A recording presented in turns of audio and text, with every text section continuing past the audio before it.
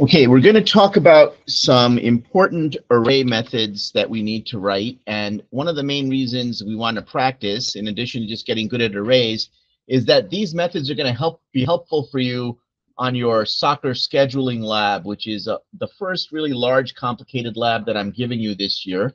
And so uh, first thing I want you to do is uh, go into the array project that we have open already and add this printed array utility method that I wrote, which basically allows us to just print the array. I just realized I made a mistake here.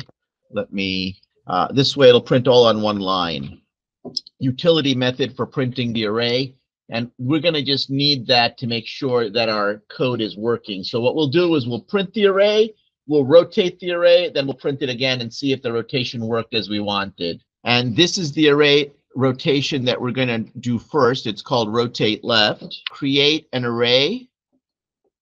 I'm going to print it before I rotate it. Then I'm going to rotate it. And then I'm going to print it again after I rotate it to see if the rotation worked correctly or not.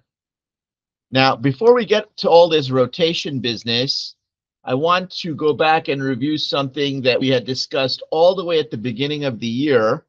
If I have these two variables, discuss with your partner what would I need to do to swap them. Let's say I didn't know what was inside them. Could I just go like this? Could I just go x equals y and y equals x? Will that work?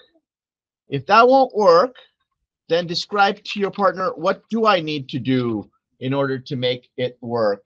How do I swap the two variables? Mr. Angad, sir, do you remember all the way back in the first week of school, I showed you how to swap variables? Okay, sir, what would you recommend I do here? Okay, very good, sir. I'm going to call the third variable my helper variable. And what should I set it to? Okay, keep going. You're doing great so far, sir. Now what do I do? Okay, I do y equals x. And then what's the last line, sir? And this is the right sequence for swapping two variables. Try to keep that in mind as we go through the rest of today's lesson. Okay, let's get back to our original problem of rotating. Here's basically what I want. Let me start with a simpler array. I'll start with this one. And so if I was to print the array right now, let's run this. You can see that it prints the array uh, left to right like that. What I want to do in my rotate method is I want to rotate the array. So after one rotation, it looks like this. you can see that all the numbers have been rotated to the left except for this first number, which has been moved all the way to the back of the array to make room.